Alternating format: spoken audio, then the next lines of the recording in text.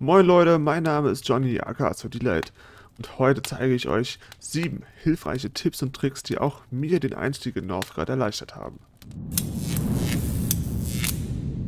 In Northgard ist es extrem wichtig, die Stärken und Schwächen der einzelnen Clans zu kennen. Deswegen investiert ruhig etwas Zeit und schaut euch die einzelnen Clans im Detail an. In der Übersicht seht ihr dann die einzelnen Boni des Clans und diesen unterteilt in den Startbonus, den Ruhmbonus, das Relikt und die clanspezifischen Eigenschaften. Wenn man sich dann für einen Clan entschieden hat, versucht man diesen Boni so gut wie möglich zu spielen und zu nutzen. Dabei spielt sich jeder Clan komplett anders und hier die Stärken und Schwächen zu kennen, entscheidet letztendlich über Sieg oder Niederlage. Eine Übersicht aller Clans, inklusive Ranking und Bewertung, findet ihr oben rechts in der Ecke, aber wenn du neu in Northgard bist, würde ich erstmal den Bärenclan empfehlen. Der hilft dir nämlich dabei, gut über den Winter zu kommen und das ist am Anfang am schwierigsten. Wenn man sich jetzt erfolgreich für einen Clan entschieden hat und das Spiel startet, kann man auch schon anfangen, seine Base zu bauen. Dabei ist es nicht einfach zu sagen, was die optimale Bildorder ist, weil die Maps von Northgard dynamisch aufgebaut sind und sich mit jedem Spiel verändern. Also du spielst nicht zweimal dieselbe Map. Deshalb ist es wichtig, seine Bildorder immer anzupassen. Denn am Anfang möchte man nur eins, den Winter überleben. Und dafür braucht man Holz und Nahrung.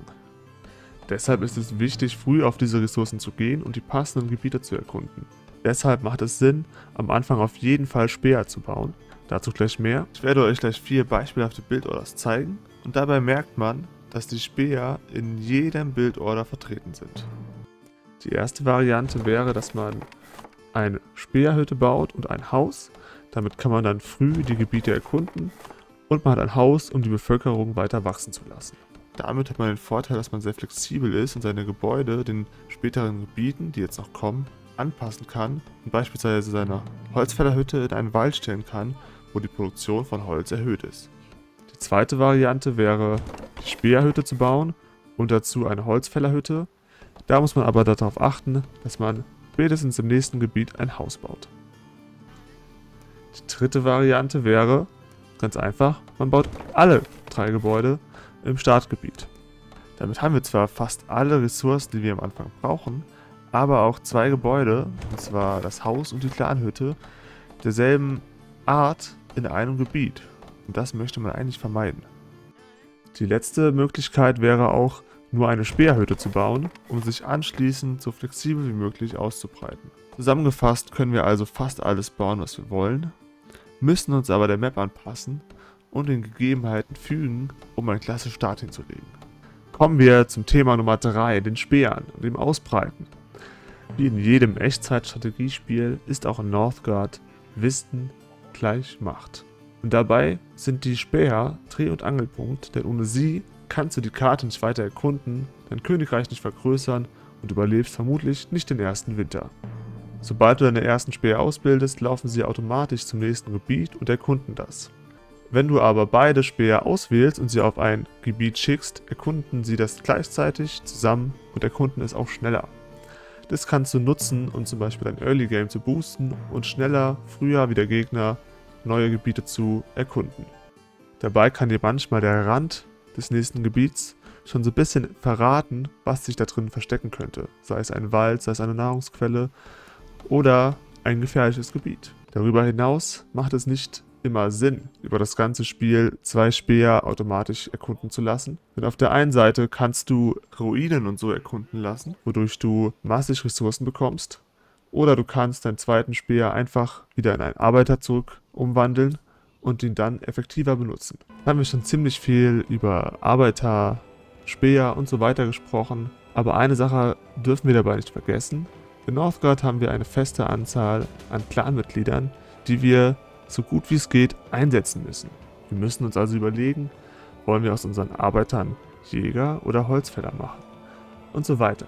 Wichtig hierbei ist es aber, dass die Arbeiter sich spezialisieren und anschließend nur noch dieser Tätigkeit nachgehen können. Aber keine Sorge, wenn man sich hierbei vertut, kann man die Arbeiter nehmen, sie zu einem Haus oder zu der Clanhütte schicken und sie wieder zurück verwandeln in normale Arbeiter. Deshalb macht es auch Sinn, die Häuser gut in seinem Gebiet zu verteilen. Übrigens, die normalen Arbeiter oder auch Dorfbewohner produzieren passiv Nahrung, wenn sie nichts zu tun haben. Arbeiter werden auch nur produziert, wenn man genug Häuser hat und sie werden schneller produziert, wenn die Zufriedenheit oben ist. Darüber hinaus können wir unten rechts sehen, was wir alles an Arbeitern haben, wie sie spezialisiert sind und sie auch auswählen. Dabei wählt man mit Linksklick einen Arbeiter aus, beziehungsweise springt immer zum nächsten. Und mit Rechtsklick wählt man alle Arbeiter aus und kann danach mit Rechtsklick auf einem Gebäude die Arbeiter automatisch auswählen, die am nächsten dran sind und sie dorthin schicken und arbeiten lassen. Hört sich jetzt alles ein bisschen kompliziert an, ist es aber nicht. Kurzfassung ist, Rechtsklick Arbeiter auswählen und auf ein Gebäude zuweisen. Danach wird automatisch die Truppe genommen, die am nächsten dran ist und übt diese Aufgabe aus. Und was wäre ein Echtzeitstrategiespiel ohne Hotkeys? Die wichtigsten Hotkeys in Northgard sind B, wo du die Gebäude angucken kannst und bauen kannst, E, wo du alle Truppen auswählen kannst und I, wo du die Informationen der einzelnen Gebiete dir anzeigen lassen kannst und sehen kannst, was es in dem Gebiet gibt und ob du alles maximal gut ausschöpfst. Darüber hinaus, wenn du richtig krasse Plays machen willst und so weiter und so fort, kannst du in den Einstellungen noch weitere Hotkeys angucken und verlegen, aber das waren eben mal so die wichtigsten. Nachdem wir uns angeschaut haben, wie man am besten scoutet, Ressourcen bekommt und seine Arbeiter verwaltet, schauen wir uns das nächste wichtige Thema an, und zwar Money. Genau, wie bekommen wir Kronen? Dein erstes Gebäude wird hierbei höchstwahrscheinlich das Langschiff-Dock sein, was natürlich auch Sinn macht, denn es gibt dir nicht nur passiv Kronen, es gibt dir nämlich außerdem noch Geschichte, womit du deine Wissenschaft antreiben kannst und Sachen erforschen kannst, oder Ruhm, je nachdem, was du auswählst. Im weiteren Spielverlauf möchtest du dann noch einen Händler bauen und einen Markt. Der Händler ermöglicht es dir mit NPCs oder auch mit echten Gegnern ähm, zu handeln und Handelswege aufzubauen wodurch sich die Diplomatie verbessern kann und im Markt kannst du Sachen kaufen.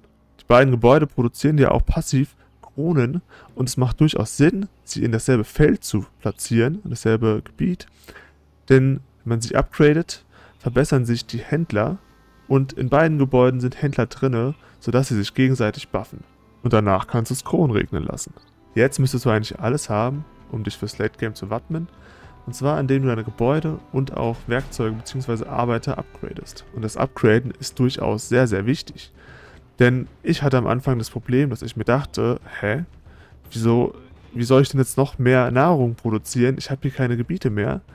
Und das Einzige, was mir noch gefehlt hat, war, dass ich meine Nahrungsgebäude upgrade, indem ich hier auf Aufwerten klicke und danach einen Arbeiter weiter hinzuschicke und das Gebäude auch noch mehr Nahrung produziert, um Werkzeuge, Arbeiter und auch Krieger zu verbessern, brauchst du eine Schmiede. Dort fügst du deinen Arbeiter hinzu, um Schmied zu machen. Und anschließend wählst du die einzelnen Arbeiter aus, die du upgraden möchtest, wodurch sich auch die Produktion jeweils erhöht. Abschließend steht nur noch die Frage im Weg, wie gewinne ich das Spiel? Und zwar musst du nicht einfach wie ein Wikinger stumpf über die Gegner drüber rennen. Es gibt auch andere Wege. Du kannst dir nämlich oben links anschauen, wie du das Spiel gewinnen kannst und wie du in den einzelnen Bereichen abschneidest. Und zwar kannst du neben der Vorherrschaft auch über Ruhm, Handel, Weisheit oder Odins Schwert gewinnen. Wenn du dir dann oben links die Siegbedingungen anschaust und zum Beispiel siehst, dass du im Ruhm sehr weit vorne liegst, kannst du dich darauf fokussieren und so das Spiel im besten Fall auch noch gewinnen. Hierbei spielt es auch wieder eine Rolle, welchen Clan man am Anfang genommen hat denn nicht jeder Clan kann mit jeder Bedingung gewinnen. Mehr dazu solltet ihr jetzt auch oben rechts in der Ecke sehen, wenn ihr auf die Playlist Wie gewinne ich in Northgard anklickt. Das waren auch schon die sieben Tipps und Tricks, die einem bei Northgard helfen können. Wenn ihr mehr davon sehen wollt, lasst es mich wissen und schreibt doch gerne in die Kommentare, wie ihr die Tipps oder Tricks fandet. Kanntet ihr die schon oder habt ihr was dazugelernt? Abschließend bedanke ich mich fürs Zuschauen und hoffe, dass wir uns im nächsten Video